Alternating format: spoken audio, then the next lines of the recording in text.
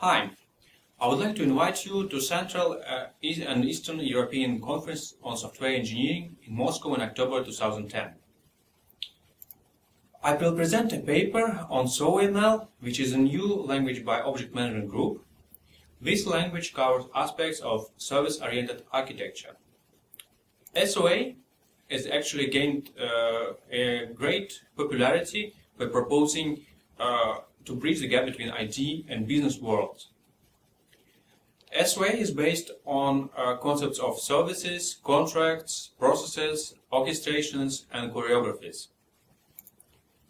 Uh, SOAML uh, is the new language by Object Management Group uh, that proposes to uh, model these concepts in UML and actually can integrate with other OMG languages like business motivation model and business process modeling notation.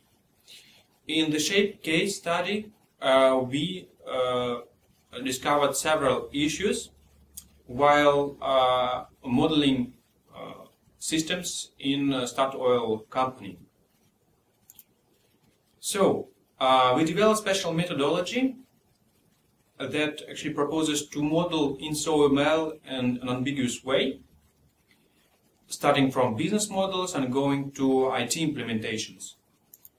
So uh, this methodology was in, implemented in Modelio case 2 and we implemented special uh, modeling transformations uh, to go uh, from uh, business models uh, like uh, requirements, goals, um, business processes, down to SOAML, and then to uh, implementation in several languages. For example, we can generate web services and Java Enterprise Edition.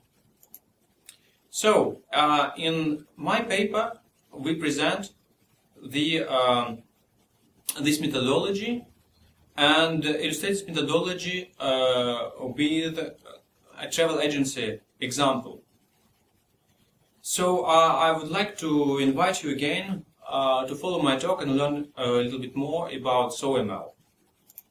Finally, I would like to thank my co-authors, uh, Brian, Philip, uh, Arne, and Einar, and all uh, colleagues from the SHAPE project. So, uh, if you need some more information about SOAML and you want to get some latest tutorial on SOAML, you can visit rd.softteam.com.